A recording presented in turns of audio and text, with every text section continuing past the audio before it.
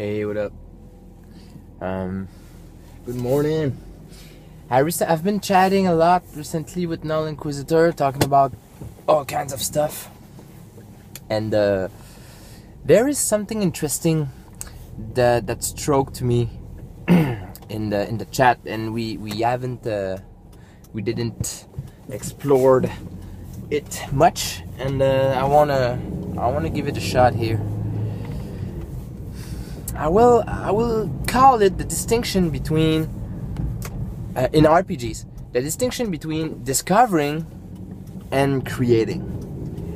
In terms of uh, gameplay experience and um, and uh, player you know uh, the, difference between I always have a problem with this the difference between GM uh, creating everything and uh, you know full collaboration where the, the players creates NPCs and the player creates cities and histories and intrigue versus uh, player just reacting to the GM's uh, stuff. So this is a spectrum that I've discussed in the past. Nothing new here. It's just it's, been on my mind though since I started to play collaborative games. You know, where you um, when you have this as a player, when you have this responsibility of coming up with stuff, coming up with intrigues, twists, plots, and PCs and stuff, and and the experience that comes out of that, versus where you react to the, the GM's prep and story. And um, and and and there and there is a, a lot to be said about that distinction. I remember, you know, in the past uh, when I was playing last year, when I was playing Traveller with Gutnog and Swamper and Shauner and uh, Vash. One night I, I, in that game, it wasn't it, it was an experiment. There was a lot of stuff I was experimenting with it, and mostly uh, I was trying to run this really traditional game, Traveller Mongoose. This really traditional game, old school. And when I was trying to run it uh, full collaborative, you know, like where I wanted, uh, I, I allowed the players to create NPCs. I allowed the player to create histories, places, stuff. They were they, they were you know able to create stuff on the fly, like picking up something on the ground that you know uh, that they, they need it. They need it right now. They pick it up and they use it. You know, like I remember a swamper creating a dumpster in an alley to hide in it. You know, stuff like that. And I was allowing them lots, lots, lots of range to do so. And it was the experiment. I was like, do it. And one night in a post game chat, post session chat, Gotnog told me, I don't know about this, you know, I, I don't want to know everything. You know, he said that clearly to me. He said, I don't want to know everything. And it sticked till today. I mean, it's still in my head. I remember perfectly. And I, and I know exactly what he's talking about. You know, I remember and I knew it back then as well. And I was like, yeah, man, you know, I know, I feel you. Because when you play under a GM, you are discovering. This is what I'm talking about here. You are discovering stuff. And uh, Null Inquisitor told me that his group, they tried both end of the spectrum, and they, you know, they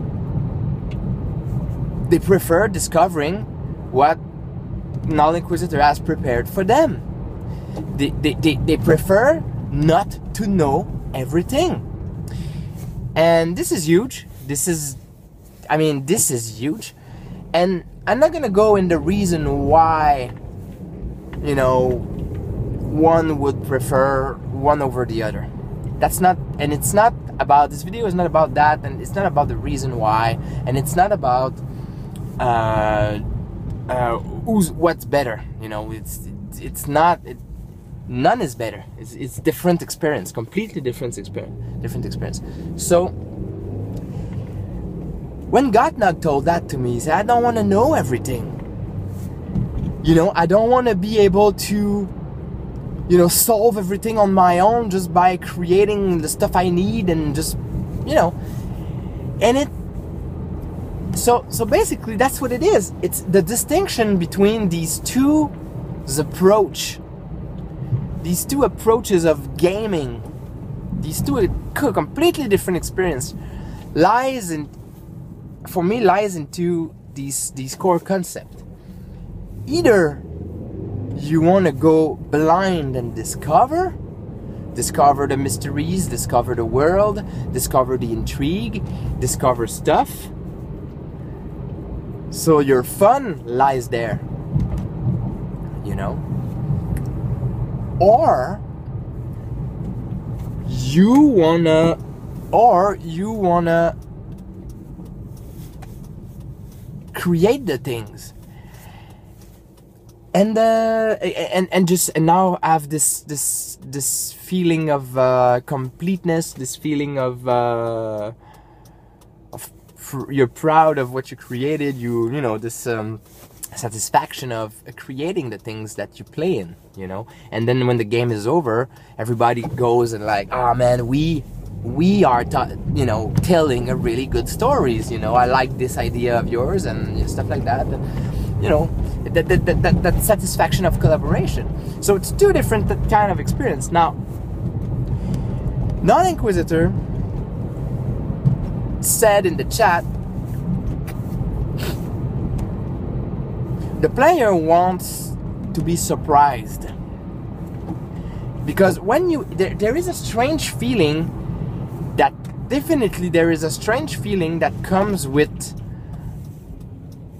full collaboration, creative, creative uh, gaming where uh, everybody creates stuff, the players and the GM, and it's like it's like this this full, you know, co-op world where everybody has done something in it and stuff. The, the weird feeling that comes with it, it's a feeling of watered down watered down intrigue, watered down history, watered down world because it, it feels like you know it already. That's why that's why Gottnog manifest when he expressed it. He said he said I don't want to know everything. And when you when you when you are in this full collaborative mode, everybody knows everything because everybody created it. And then and, and that's that's a fact. And that goes for a really different experience. It's not that, I mean, it, it has this weird, uh, as much as I like it, it still have this little little bit of watered down. It's a little bit watered down because it's like we we are um we are creating it as we play it. So we kind of know in advance a little bit what's gonna happen and stuff.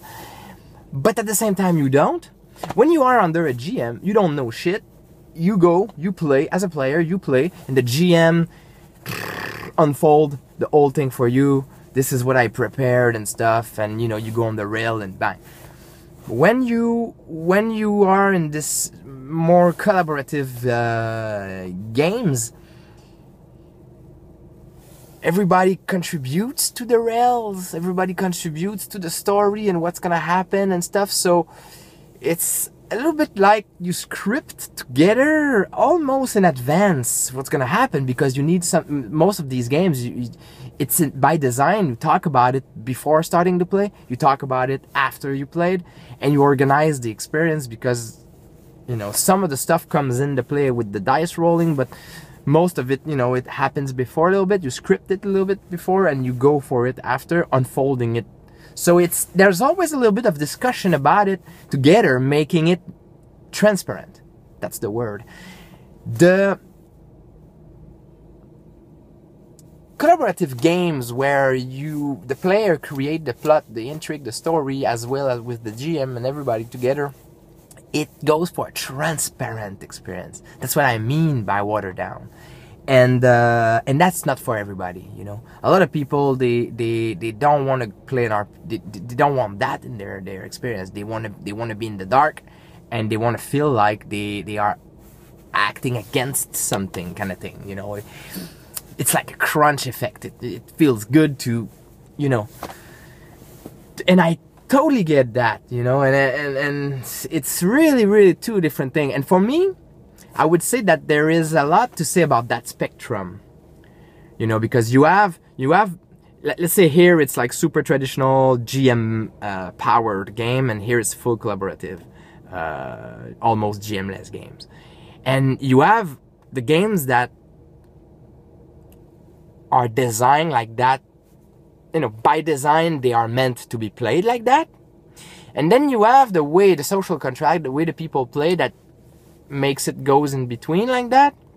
So for example, you can uh, play like like I tried in the past, Traveller, and uh, trying to go full collaborative. So you're gonna be somewhere in between. It doesn't really work. It's just you go against the systems. It's not a good idea. But a lot of people, that's what they do. I mean, they the way they play, they have a culture of play that makes for the spectrum. But by design, you have lots of games that are GM powered, and you have all kinds of different games in the indie realm that are more designed to be collaborative.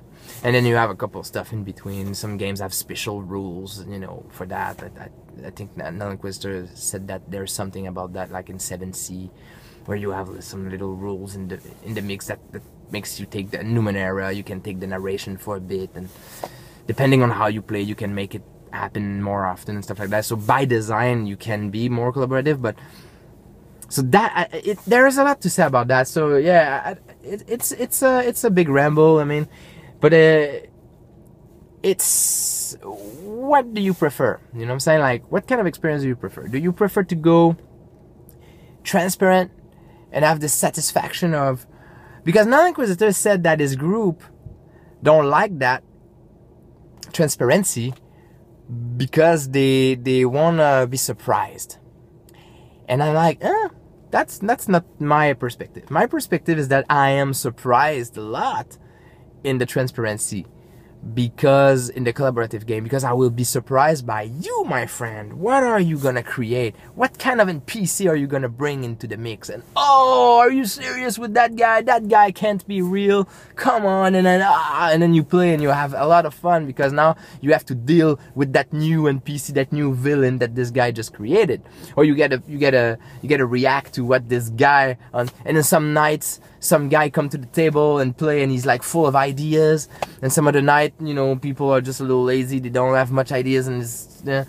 so so there's a lot to be surprised i don't i you know i understand that with the gm powered game there might be more surprises but it's different kind of surprise I would say that you know I don't want to be uh, I don't want to be cheap, but uh, I would say that it's really different kind of surprises. But yeah, man, it's uh, it, for me it's a it's it's a plague you know it's a plague. It's a it's a big it's different choices. You it's not it's not easy to to make your mind about which one you prefer and it's about it's about how you feel at the moment and with the people you play you know. Some people are so just they they, they have no creativity at all you know they have no ideas. So they, you, you they need a GM and when you play with these guys play a GM power game you know you know, don't go for but people that have lots of ideas all the time like go for go for collaborative. Maybe that's that's gonna be uh, interesting. Anyway thank you for watching. That was a, a ramble video but uh, I had to I had to express this this difficulty sometimes. We have to make make our minds about the way we like to play. All right thank you very much uh, talk to you soon